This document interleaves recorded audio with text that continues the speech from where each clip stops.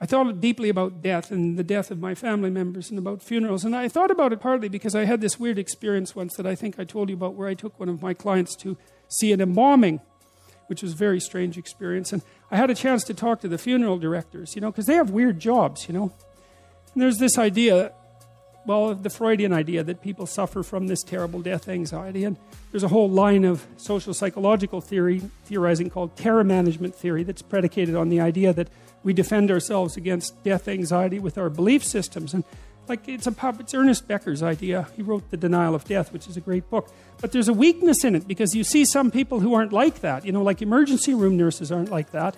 And palliative care nurses aren't like that. My, my sister in law is a palliative care nurse. That's a hard job, right? Because you go in there, you're caring for people, you have, and they're in pain, they're on their last legs, you're trying to make them comfortable, and you have a relationship with them because how the hell are you going to make them comfortable if you don't? And then they go and die on you, and that just happens. That's what happens every day, right? And what's weird is that people can be palliative care nurses. It's like, how do you figure that out?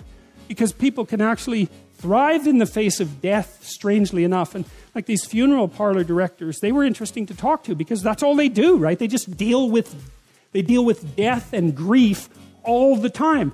And it was very interesting talking to them because I talked to two of them they found their job extremely meaningful. And I asked them, well, you know, does that, what, what does that do to your life? You know, you're saturated with death and suffering.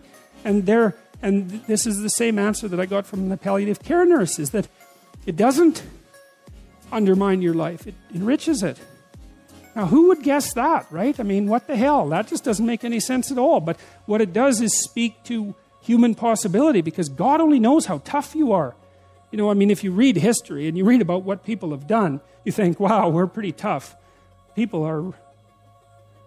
I read uh, there was a shipwreck in the Antarctica 100 years ago or so, and I read the, the story. It's an autobiography, if I remember correctly, of the, of the captain. I might be wrong about that, but I've got the basic story right. Well, they had a shipwreck in the Antarctica. Was, and then they were there for a whole year in the Antarctica, you know? And none of them died. Not one. He didn't lose a single man.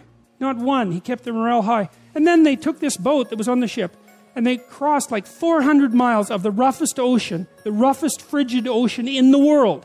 Right? You don't go in that ocean. And then they went to an island and they walked across the island, across these mountains that no one else has ever climbed since. And they went to the city on the other side of the island and they got a boat and they went and rescued their compatriots, and everyone survived. It's like Endurance is the name of the book. You read that book, man, you think, wow, people are really tough, you know, and if and it's it's ridiculous. So who knows how tough you are? And maybe you find out by going out to find out how tough you are, right? So you take on a challenge, one that you think you can master, just that's just a bit beyond your grasp, and you master it, and then you're a little tougher, and you think, hey, that worked out pretty well, and so then you're more of a monster. And then you go out and you find another challenge that's even bigger, and you think, well, maybe I can do that too. And all of a sudden you can, and you get a little bit bigger, and God only knows what the limit is of you.